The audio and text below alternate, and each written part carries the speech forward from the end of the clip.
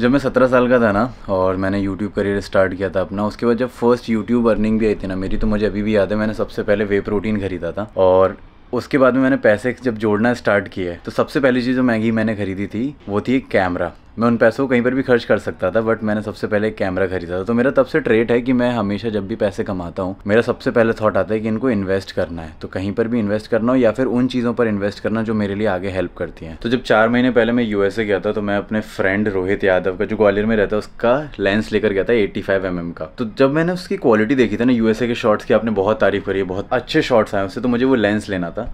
And finally ये lens आ चुका है यहाँ पर।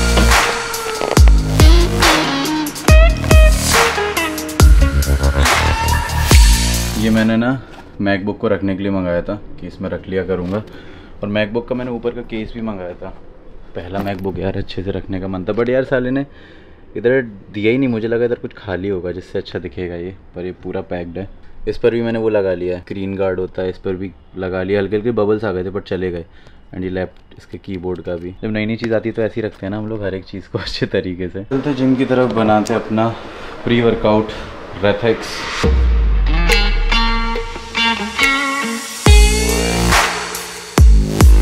एक एक स्कूप रेथेक्स दो दो सौ एम जी तो अभी प्री वर्कआउट में हमने लिया है हमारा गोरेला फ्रेंड रेथेक्स इसके हर एक स्कूप में आपको 200 सौ कैफीन मिलता है, उसके साथ में 1600 सौ एम बीटा एलेनाइन एंड तीन हज़ार एम जी सिट्रोलिन बहुत सारे ख़राब क्वालिटी के प्री वर्कआउट की वजह से कई बार ऐसा भी हो जाता है कि आप लाल पड़ जाते हो या फिर आपको बहुत खुजली मचने लगती है बट इसमें बीटा लेनाइन सिट्रोलिन और सारी चीज़ें इस तरीके के बैलेंस फॉर्म में मिलाई हुई हैं कि आपका जो वर्कआउट है, उसमें आपको पंप बेस्ट आता है। जब आप प्री वर्कआउट लेते हो ना तो ऐसा नहीं है कि एकदम से आपको हाई दे के लो कर देगा। ये कंसिस्टेंट रहता है आपके पूरे वर्कआउट के दौरान में और आपके वर्कआउट को और ज़्यादा अच्छा बनाने में हेल्प करता है। प्री वर्कआउट का लिंक और अपने पूरे स्टैक का लिंक डिस्क्रिप्शन में छोड़ दूँगा, वहाँ से आप इसे चेकआउट कर सकते हैं। एंड मसल ब्लेस से जब भी कुछ भी शॉपिंग कर रहे हैं, आप हमेशा अपने भाई का कोड आनंद थर्टी का यूज़ करके बहुत अच्छा डिस्काउंट पा सकते हैं और साथ में आप मुझे भी सपोर्ट कर सकते हैं। करेंगे भाई करेंगे। यूज़ कोड अनंत थर्टी करेंगे हमारे घर पे। भाई सभी अनंत थर्टी लगा के सीधा तीस परसेंट डिस्काउंट पे प्रोटीन पीते हैं रोज़।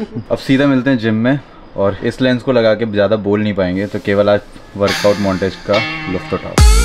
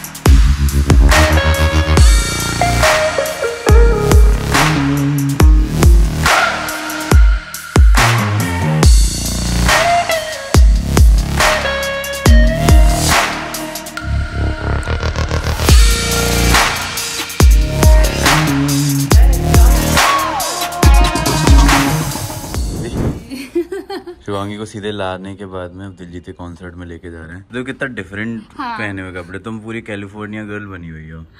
मैं लग रहा है मैं कुछ अलग कॉन्सर्ट में, में जा रही हूँ। मैंने पूरा दिलजीत तो, वाला पहन लिया। कॉन्सर्ट में जा रहा है। मैं लग रही हूँ मैं कहीं और ही जा रही हूँ अलग। नहीं उसके गाने में जो लड़कियाँ रहती है ना वैसे कपड़े पहनती हैं। अच्छा आपने बहुत देखा है। हाँ, मैं देख हाँ दिलजीत को नहीं देखा? मैं देखा है दिलजीत का बहुत।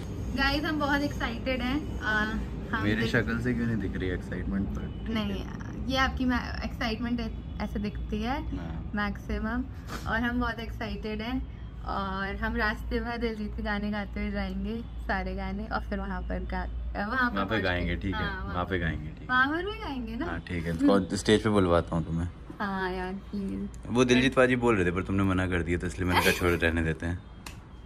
यार सब फनी गाइस कमेंट्स में बताइए कि आ, कैसा लग रहा है? अच्छा लग रहा है ना? मैं मेनली ये बतवाना चाह रही है कि इसको बता दो ये कैसी लग रही है। नहीं, हाँ और ऐसा क्या? है भी नहीं है। ऐसा ही है। ऐसा नहीं है। इसको लेके जो जो कमेंट्स आते हैं ना ऐसा अलग से पढ़ती है। स्क्रीनशॉट लेके फिर अपनी स्टोरी पर डाल देती है और बोलती है ओ माय गॉड वाओ मुझे अच्छा कमेंट्स तो पढ़ती हूँ सारे कमेंट्स पढ़ती हूँ सब लोग जो जो बोलते हैं। एक बंदे ने तो कमेंट किया लास्ट वीडियो में "अ, यश भाई आपको शुभांगी की आवाज़ इतनी ऊपर तक आ जाती है।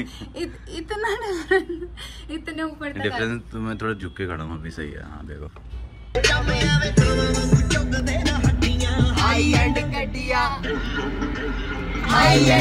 सो यास्मिन का यास्मिन का फ़र्स्ट डे है वो। मतलब first ever experience you know हाँ नहीं शुभांगी का भी दिलीप पहली- का? पहली बार मैं किसी कॉन्सर्ट में जा रही हूँ। कल चेंज हम तो बचते रहते हैं ब्रो हम तो बचते रहते हैं?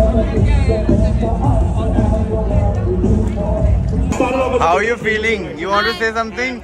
I am so excited, so so so excited. मैं imagine भी नहीं कर पा रही कि दिलजीत जब स्टेज पे आएगा तो फीलिंग क्या आएगी वो फीलिंग क्या आएगी मतलब मैं रास्ते में जैसे गाने भी सुन रही थी ना जब मैं तो मैं गाने कर रही थी कि हाँ Thank you so much for listening and supporting.